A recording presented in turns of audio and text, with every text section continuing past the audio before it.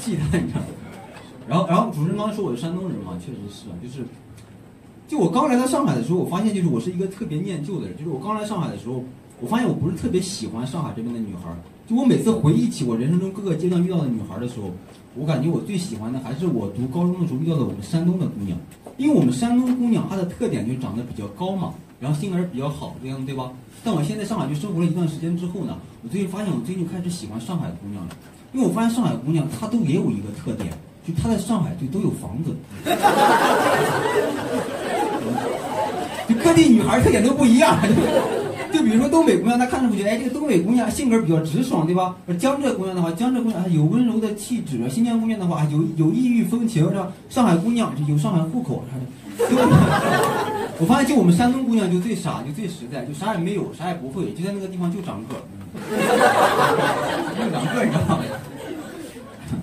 就是，哎，就是我现在感来到上海之后，感觉就是上海它确实是一个大都市嘛，一个比较文明的城市，对吧？这垃圾还需要分类啥的，就上海会有好多文明标语嘛，上面写什么禁止乱丢垃圾，然后它的标语下面还会再跟一行英文，看上去就很文明。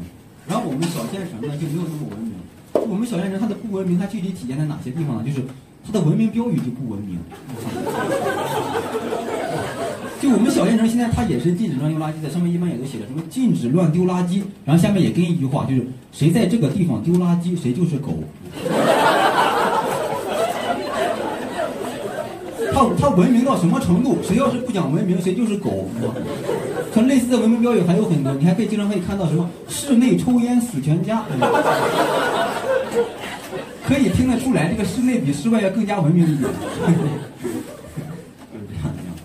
然后，然后我前两天搬家了，这样跟他说一下这个，前两天搬家了，但是因为我还是比较穷，我还是住在郊区。就呃，就是我现在住的那个房子是那种，就是是那种隔断房，就是二房东他把房子租过来之后，他打了好多隔断。就你们可能应该都知道那种房，就就是把那种客厅都给隔没了那种，你进去之后直接是一个小小走廊那种感觉。你像你们的话，你们现在住的可能什么什么三室一厅或者两室一厅，对吧？然后我们家现在是七室一走廊，打了好多坑。然后呢，我隔壁是还住了一对小情侣这个样子，就而且我那个房间还隔音还特别的差，就怎么说呢？我基本上我能每天我能隐约的听到他们日常对话的一些声音。就因为能听到嘛，所以我就连着听了一周，然后，但是也没有听到我想听到的内容，气得我都想退房了，你知道吗？因为当时我租这个房子，这个房子最吸引我的两点，第一点就是隔壁住了一对小情侣，第二点就是这个房间隔音特别差，有多差呀？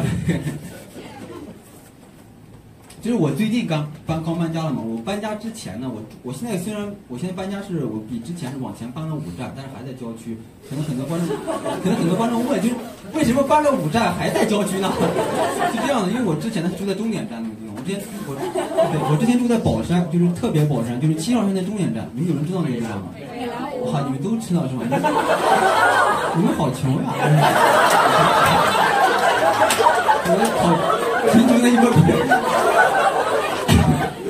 对，我之前就住在七号线的终点站，就是你们如果没有去过终点站的话，你们可能不知道终点站有有多偏，它有多么，它有多么郊，它有多么荒凉。我给你们介，我前两天看到一条那个微博热搜，他是这么说的，他说那个叫什么吴宣仪微博改名，我当时就想，哇，你看人家微博改个名都能上热搜，我微博改个名，系统提示我你不是会员不能改。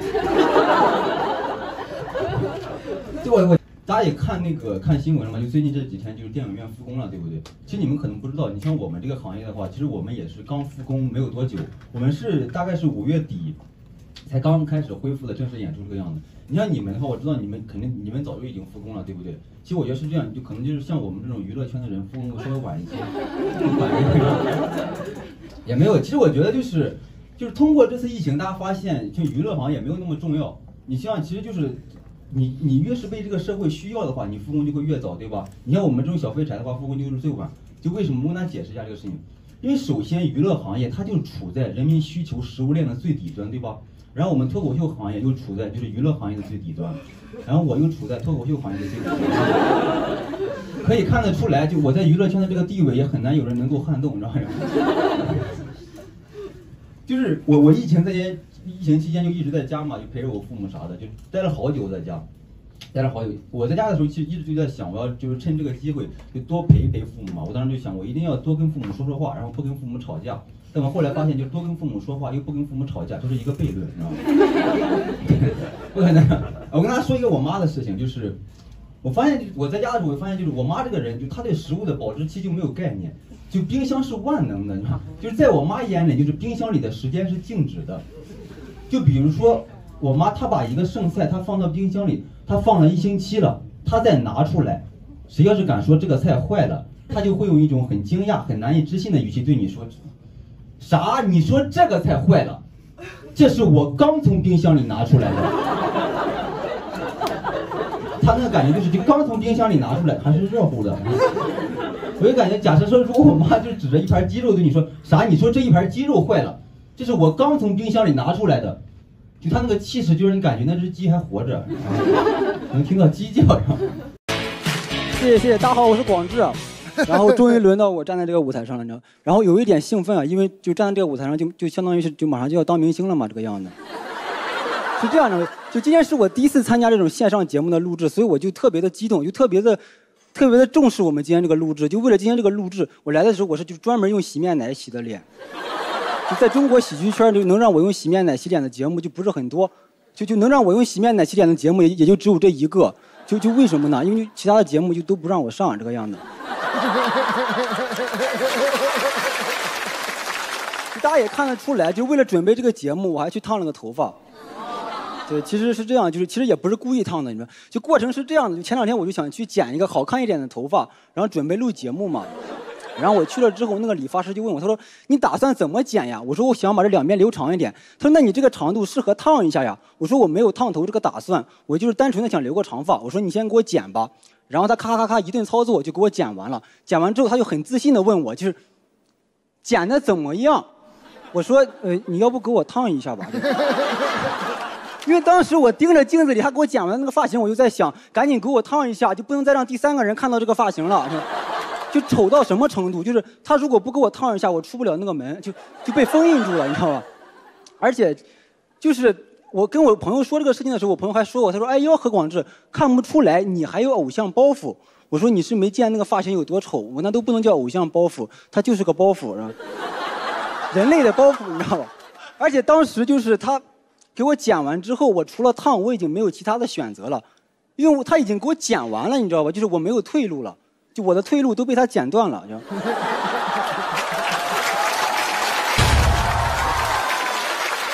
我就只能再赌一局，是吧？哎，你如果长得比较好看的话，就你可能没有这种感受，就是像我们这种长得不好看的，就当我们被剪了一个很丑的发型的时候，其实我们是很憋屈的，因为当我们被剪了一个很丑的发型的时候，就我们是不太敢怪罪于理发师的。因为你知道你自己也有责任，然后，所以说我剪头发就经常会出现这样的一种局面，就是前面两分钟我刚跟那个理发师就友好的沟通完该怎么剪，然后他开始给我剪，结果剪着剪着我们俩就都沉默了，就。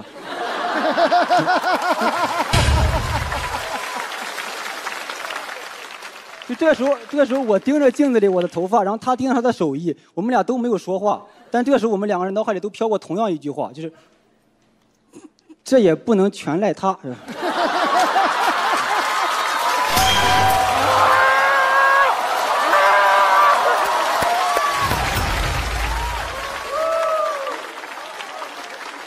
哎，其实这种感觉大家都都明白，心里都明白，只是不说而已。就是假设说让一个长得很好看的人，假设说让李现剪个头发不好看，那理发师全责，对吧？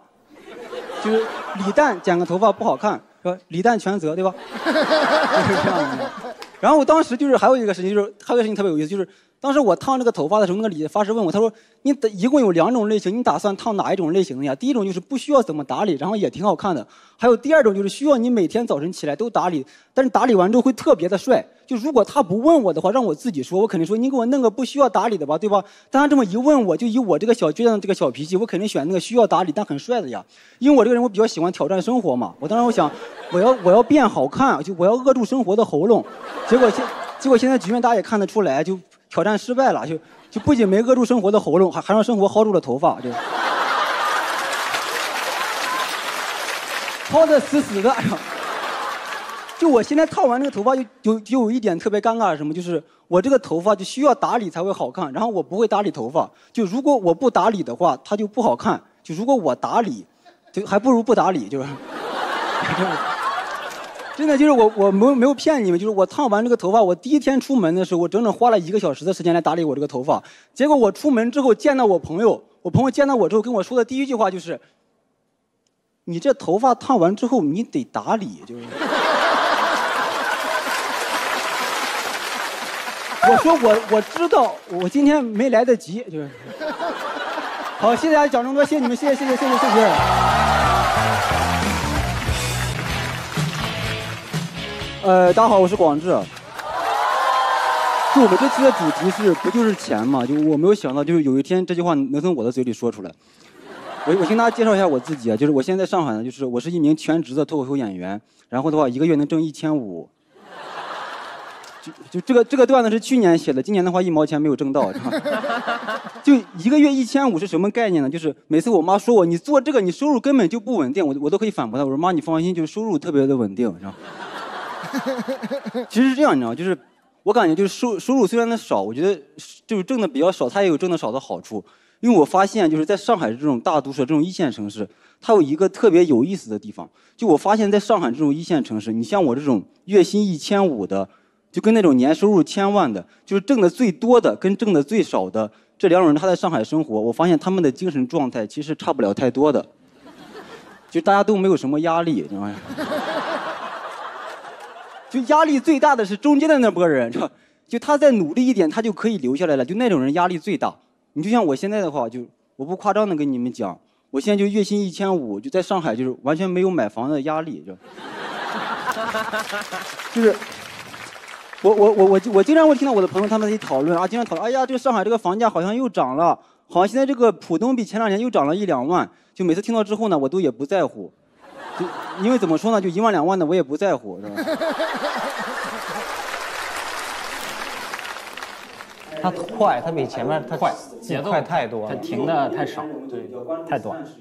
因为讲脱口秀它不是一个正式的工作嘛，所以说我的好多朋友他们就会经常劝我去工作。前两天我一个朋友就找我，就跟我说劝我的工作，说何广智，我告诉你，你别看你现在轻松，你现在在上海，你要是不工作的话，你在上海就不能交社保，你要是不交社保的话，你五年之后就不能在上海买房子。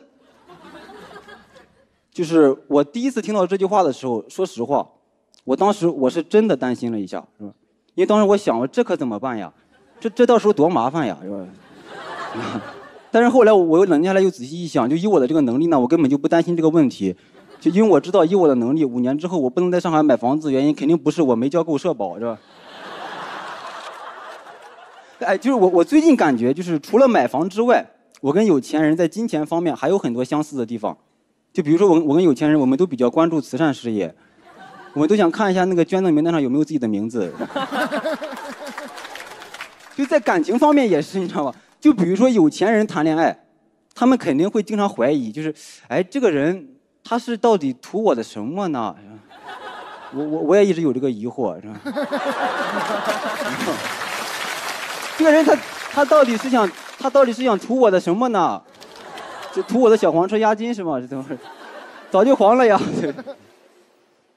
这个梗你想？但是后来我我我刚来上海全职讲脱口秀的那会儿，大概是一八年嘛，就是我刚来的时候，那会儿我特别害怕别人问我是做什么工作的，我特别害怕回答这个问题，因为这个问题不好回答。就比如比如说你要跟别人说，你说我现在没有工作，别人就会觉得你是个废柴，是个 loser，对吧？你要跟别人说，你说我现在是一个脱口秀演员，别人就会觉得你啊是个傻子啊这样。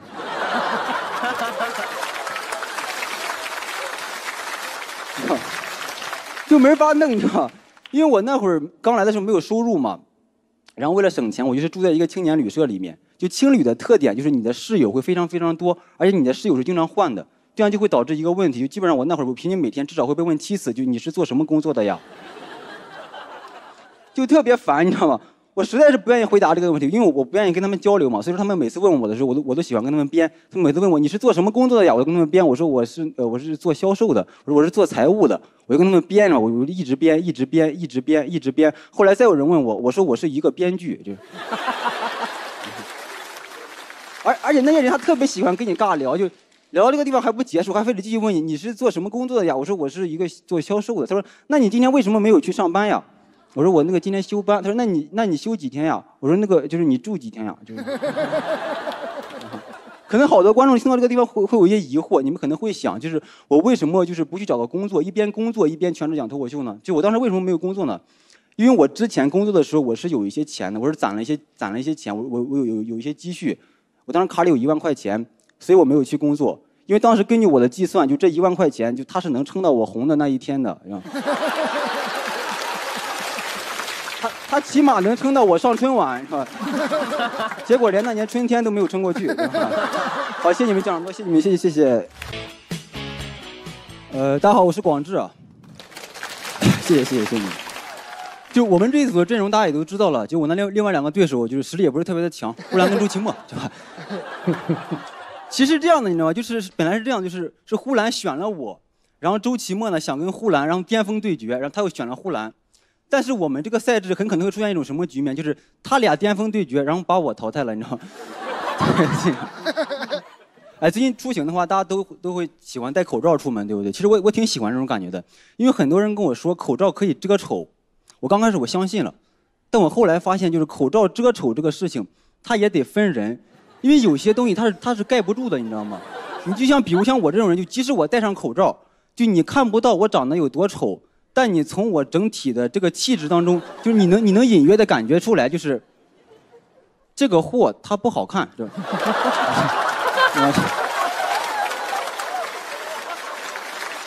就那那种感觉就跟刮奖是一样的。就虽然说你刮奖，虽然说你戴上口罩之后就就只露了一双眼睛，但你刮奖刮出个蟹来，还接着刮嘛，就就给他垃圾分类了，就就不刮了。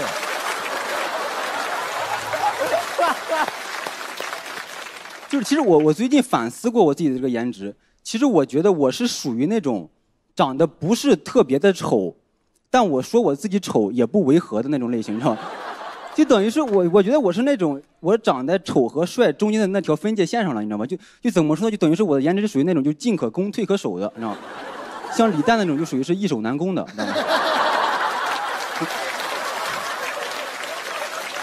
因为我我们节目已经播了一期了嘛，然后我的好多朋友他们看到我上了那个节目之后呢，他们就觉得我现在已经挣到了很多钱这种样，其实并没有，就是其实我们录这种节目，选手是没有钱的。我现在不仅没有挣到钱，我还往里搭了很多钱，因为我每次打车过来，呃，来回的话要三百块钱，就是录到现在的话，我我已经往里搭了就四千多块钱了。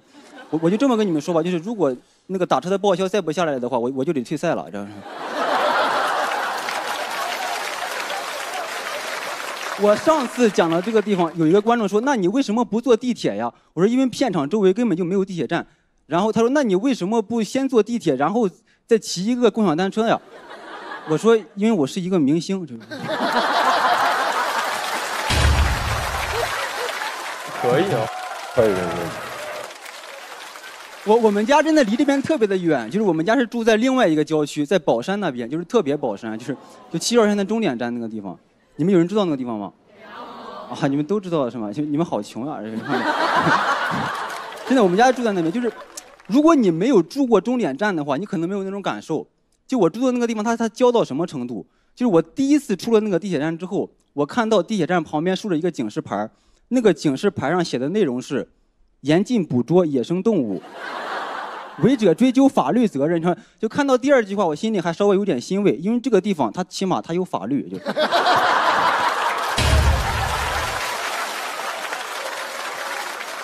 而且，我们家还不在地铁站附近，就是我每次出了地铁站之后呢，我还要大概再骑自行车，就骑个二点五公里才到家这个样子。真的，就共享单车直接就包了半年的，但是包完就后悔了，因为那个地方实在是太偏了，没有共享单车。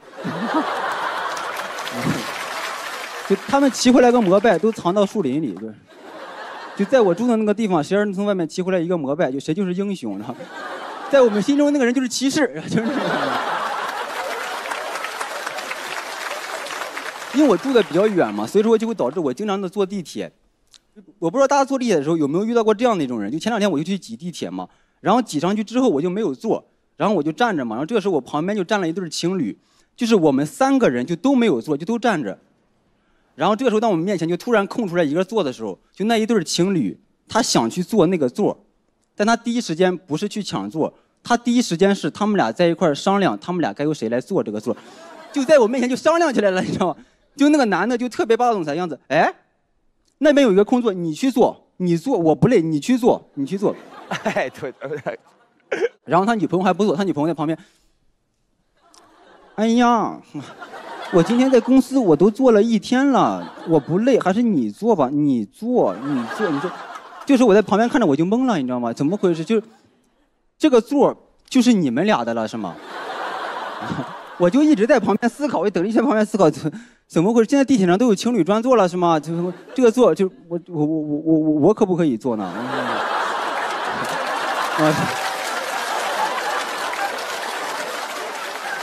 甚至有一次，我都已经坐下了，然后他们俩还还是会在你面前，哎呀，你坐呀，你坐呀，你坐呀。这时候我就在想，你们这种人，你们是不是就是故意来炫耀你们拥有爱情？是不是？你们是不是故意的？你们还有什么花招？尽管给我使出来，就不害怕你们。还有就是，大家坐地铁还有没有这样的一种感受？就是当那个地铁上满座的时候，然后所有站着的人都是替补，然后这个时候站在过道中间的那是替补里的首发，有这感觉吗？就是我记得我那个时候，我第一次来上海的时候，我坐地铁我就特别害怕坐过站嘛。然后每到一站之后，我就喜欢就是不停的看那个地铁路线图，就不停的看嘛，不停的看。然后就有一次有个大哥，他看到我看那个路线图了，他就以为我要下车了，然后他就挤过很多人，就拼命就挤在我面前，就站在我正前方，就这么站着，你知道吗？就这么站着。就这种情况大家都明白，就他站在你正前方的话，他就是你那个座位的第一继承人，对吧？就这样那种。但是。但是那次那个大哥他真的误会我了，因为就五站了我都没有下。然后大大哥看我一脸疑惑，怎么怎么每一站看上去都想下的样子，怎么但是还不下？是到底是住在哪一站呢？就是在上海流浪是吗？我干过这事儿。就算是流浪，都五站了，还没有选到自己喜欢的站吗？你名字不喜欢吗？怎么？我我发现就是，当地铁上空出来一个座之后，大家去抢这个座位的时候，它其实是有规则的，它是有规矩的，你知道吗？它的规矩就是，它就是和那个继承法是一样的，就你只有当这个第一继承人这边没有人的时候，然后你旁边这个第二继承人才可以过来继承，对吧？继承权男女平等，对不对？就是我为了写这个段子，我专门去网上查了一下继承法，其实，其实继承法是这样的，就是一般情况下是用不到继承法的，使用继承法的前提得是没有立遗嘱的情况下才可以，你知道吧？然后我就发现就会有好多人坐地铁，他起来之后他喜欢指定一个人，哎，过来过来过来过来过来过来。我到了，我先下了，我先下了，我先下了。就这种情况，你就不能按照继承法继承了，因为人家走的时候有遗嘱。好，蒋龙哥，谢谢你们，谢谢谢谢谢谢。呃，大家好，我是广志，然后就是我在前面确实是不小心赢了呼兰跟周老板，你知道吗？但是也没有特别厉害，就用一个词形容，就是小人得志，你知道吗？现在 节目大家都看了是吧？对，然后我是那个周杰伦的颜粉，这样的。弹幕里好多人说我长得特别的像周杰伦，你知道，我就特别的开心。因为我录节目之前的演出，我问观众，就大家看我长得像哪一个明星，他们都说是张全蛋，你知道吗？就是为了阻止我像杰伦，都把张全蛋给逼成明星了，你知道吗？就为什么现在大家突然一下又发现我像周杰伦了呢？就是因为我在比赛期间用了那个樱树流光瓶护肤，就我的皮肤。由内而外，光感透亮，就透亮到什么程度？我现在感觉是我身上最大的闪光点就是我的脸，就樱树流光瓶让我不用打高光，都直接达到了我颜值的高光时刻。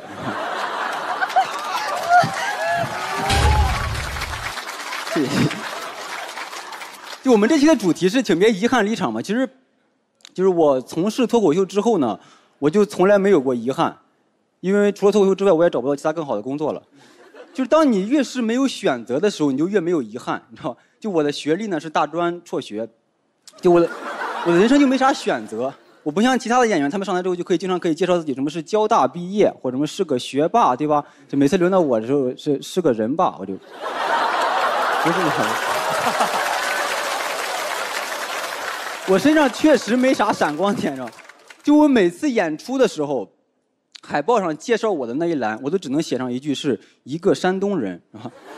就每次主办方看到之后说话也都特别的委婉，你给我滚！就 就我们这个海报贴出去是为了吸引观众来看演出的，就你这一个山东人，就这是凭借什么吸引的观众呢？观众是都没有见过山东人是吗？观众来了之后一看，哎，我台上有一个山东人，你们你们这个演出也太酷了吧？这是不可能，你知道吗？就我我现在是自己一个人在上海生活嘛，就我发现我妈现在特别的关心我，她关心我关心到什么程度？就我最近发现我妈开始通过那个微信运动监视我，就我有时候偶尔会睡到中午十二点才起床嘛，然后这时候我妈就给我发微信问我，哎，你今天是怎么了？为什么还没有起床呀？就这个问题我就不敢轻易的回答，因为没起床又代表还没有吃饭，就是不起床事小，不吃早饭在我妈眼里是一种违法行为。我那个时候我上学的时候。我都不敢跟我妈说，我一宿我一宿舍人都没有起床，因为这种行为在我这种情况在我妈眼里就属于是聚众不吃早饭，知道吗？就是我遇到的困难的事情多了去了，我妈都不关心，我妈就关心我到底有没有吃饭。我妈跟我说的最多的一句话就是：“你现在在上海，我根本就不图你在外面能挣多少多少钱，你只要是把饭给我按时吃好就行了。”就每次我妈跟我说这句话的时候，我都会产生一种错觉啊。我终于还是要回家继承家产了吧？就是，而且，而且我的微信运动一旦超过一万步的话，我妈这时候还会给我发微信问我：“哎，你今天是干什么去了？你是不是出去玩去了？你和谁一起去的呀？是男的还是女的呀？”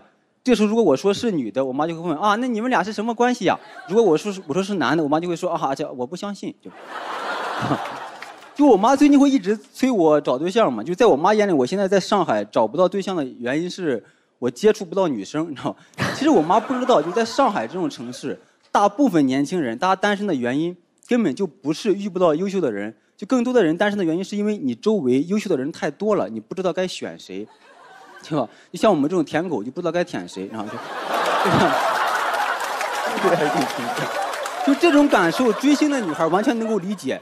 假设说让你在肖战、王一博、易烊千玺，还有我，我们，我们四个中让你选一个做男朋友的话，你肯定会非常纠结啊，对吧？你肯定会纠结，你肯定会想啊，这可怎么选呀？这都是我的菜，是吧？这肖战也是我的菜，王一博这也是我的菜，易烊千玺这也是我的菜，何广智菜里还有一个虫子，对吧？假设你周围没有那么多优秀的人，假设说你周围就只有张全蛋跟我我们俩的话，你通过简单的一比较，你很快就会选择出来，对吧？你通过简单的一比较，你很快就会选择就出家，对吧？而且你选完之后都不带遗憾的，你知道吗？就我觉得我现在这种状态其实是好的，就除了年轻就一无所有嘛。我觉得我这种这种状态非常的好，就我这种状态，它可以很好的甄别一些女生，比如说一有女生。她一靠近有钱人的话，大家可能就会觉得，哎，这个女人，这个女人她肯定是想要不劳而获了，她肯定要想要实现她不劳而获的理想了，对吧？像我这样，但凡一有女生靠近我的话，我就知道，那这个女人，她肯定是想要嫁给爱情了，要不然他图我的啥？图我长得像杰伦吗？就，就我觉得我们每个人在生活中，当我们面临一些困难，或者说面对一些选择抉择不了的时候，就为了不让自己遗憾嘛。然后很多人就会喜欢找一些名言名句来支撑自己，就每个人都是这样的。就我也一直有这么一句话，就每当我遇到困难的时候，我都会想起来这句话。就这么多年来支撑我面对困难的这句话，就是“穷不过三代”。就 每当我遇到想解决所有的困难，什么就全能型的精神信仰，就是从概率学的角度讲，我一定会非常有钱，因为我就是第三代，什么根红苗正，你知道吗？我从小就特别的相信这句话嘛，然后就以至于我。入戏太深之后，就导致了现在这样一个问题。就像我，我现在每次回家跟我父母在一块吃饭的时候，我只要一听到我爸他说他马上就要挣到钱了，我就特别担心。就是你说啊，怎么就要挣到钱了呢？我走的时候还好好的呢。就你这一挣到钱，我这辈子这不完了吗？好，谢谢大家讲这么多，谢谢你们，谢谢谢谢。